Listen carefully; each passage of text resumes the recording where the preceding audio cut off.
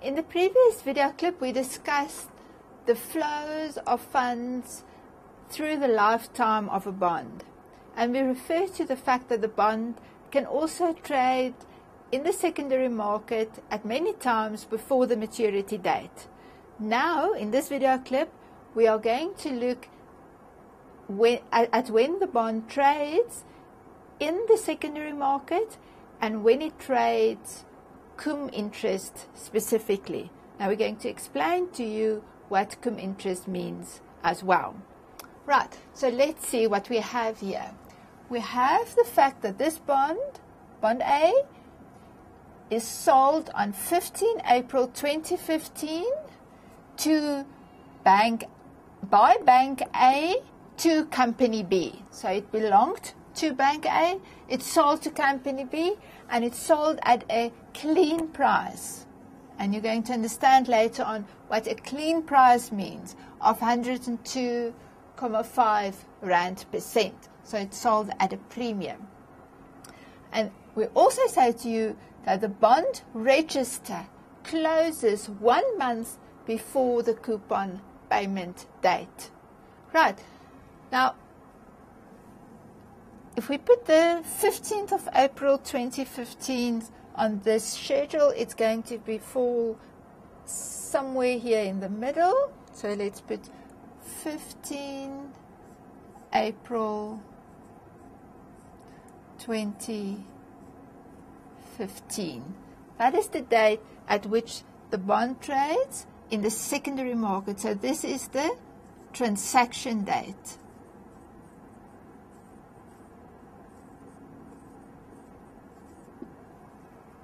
Right, we say that it trades at a clean price of 102 Rand percent. Now, when this bond belonged to Bank A, who sold it, on the 31st of December 2014, Bank A received the coupon of 50,000 Rand for this bond, the coupon that is paid twice a year. On 30 June 2015, that is the next coupon payment date, this bond is going to belong to Company B, so Company B will then receive the full coupon. Right. But you must remember that the government and the different companies that issue bonds issue thousands of bonds. So they have to know whom to pay this these coupons amount to when the coupon payment dates come. We call this the coupon payment dates.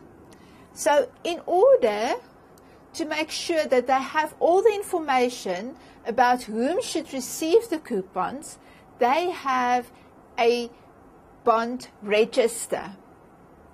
And in that bond register will be information about who owns the bond, um, what the bank account numbers are, and that will enable the issuer to pay the coupons to the correct persons.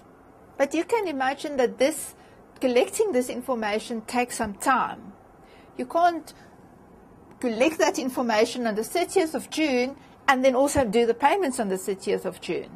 So what they do is they close the bond register one month before the coupon payment date. So one month before 30 June would be on 30 May 2015 there will be a register closing date. Register closing date.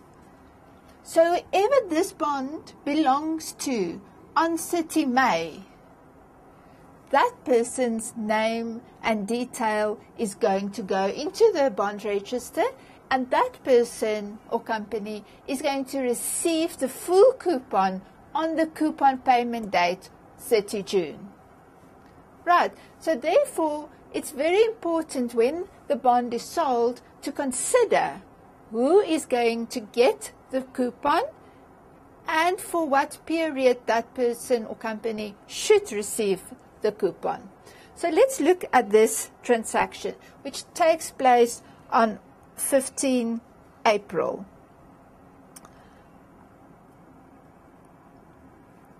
From 31st December until the transaction date, 15 April 2015, there are 105 days. And from 15 April until the 30th of June, the next coupon payment date, so for that full period, there are 76 days. So now we have to ask certain questions. The first question we have to ask is who does the bond belong to on the register closing date? Now, this bond was sold by Bank B to Company, by Bank A, sorry, to Company B on 15 April. So on 15 April, it went to Company B. So who will it belong to from 15 April and until it is sold again? It's going to belong to Company B, which for this transaction is the buyer. And it belonged from the previous coupon payment date until the transaction date to Bank A, which for this transaction is the seller. Right, so let's answer this question. Who does the bond belong to on the register closing date? And as you can see, the bond on the register closing date belongs to company B. So who will receive the full coupon on the coupon payment date? Because it belongs to company B, it will be company B. Right. But did it belong to company B for the full coupon period from 31st December until 30th of June? No, it did not. It belonged to Bank A from the previous coupon payment date until 15th of April. So for this period, Bank A is entitled to the coupon for that period. So Bank A should be refunded for that period. So who should be refunded?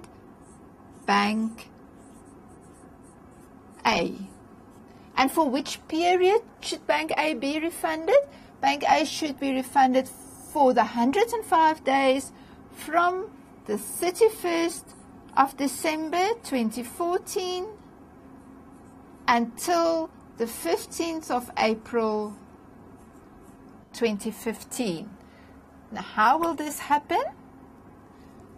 Remember, Company B is going to receive the full coupon on 30 June. It's going to, the bond is going to belong to them. So in order to compensate the seller, Bank A, we add accrued interest.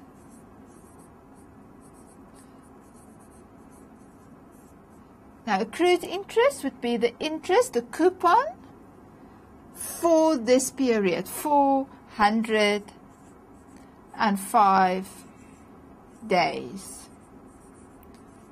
Two, we add it to the clean price. Other words, to calculate the real price at which this bond is going to trade, which we also call the all-in price. Sometimes they call it the dirty price. It is the clean price plus the accrued interest.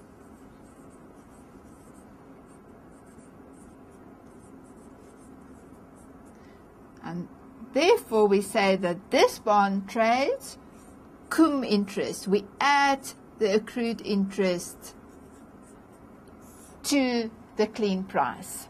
Right, so let's do the calculations. We can see that the first thing you have to calculate, because we're going to calculate the all-in price, we have to calculate the clean price, we have to calculate the accrued interest, then we have to add those two together to, to determine the all-in price. So let's first calculate the accrued interest.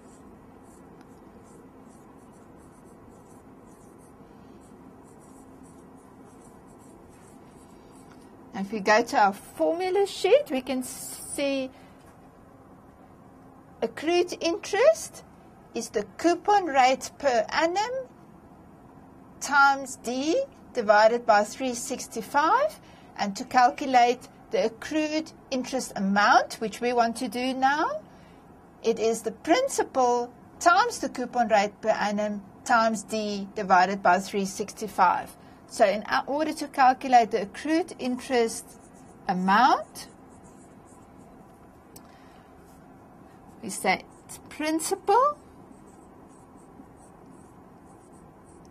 times coupon rate per annum. I'm just going to write coupon rate times D which now refers to the number of days for which you are calculating the accrued interest, 105 days divided by 365. The principal is a million.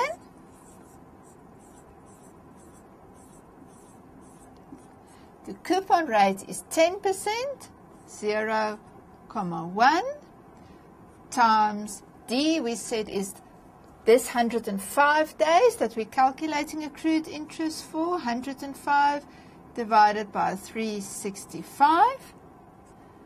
So if we do that calculation from the back, 105 divided by 365 times 0.1 times 1 million, that gives you 28,767 Rand and 12 cent. Now we want to calculate, we've calculated the accrued interest, we want to calculate the clean price.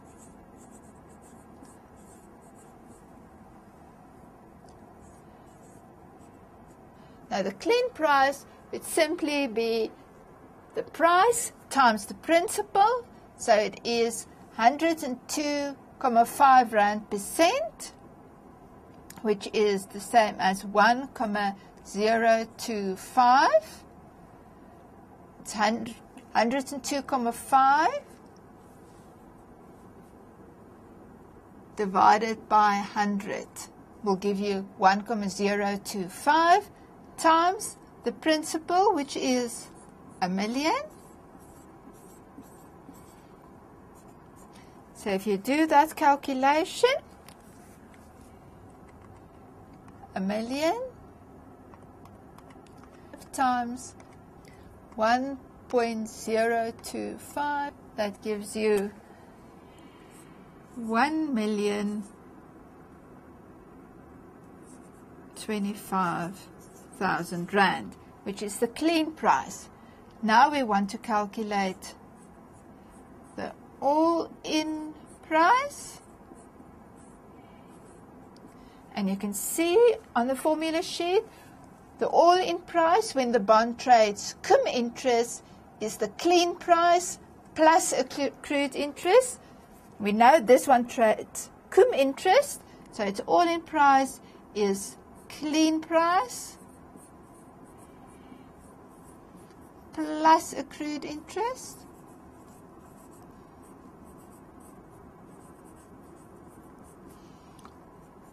So the clean price is one million twenty-five thousand, and the accrued interest is twenty-eight thousand seven hundred and sixty-seven rand and twelve cent. And if you add those two together, one million twenty-five thousand plus twenty-eight thousand seven hundred and sixty-seven rand and twelve cents. That gives you the all-in price of one million fifty-three thousand seven hundred and sixty-seven rand and twelve cent. So in order to calculate the all-in price, you first have to determine whether this bond is going to trade ex interest or cum interest. Then you have to determine the period for which accrued interest has to be calculated. You have to calculate the accrued interest. You have to calculate the clean price. And then you have to add the accrued interest to the clean price to determine the all-in price.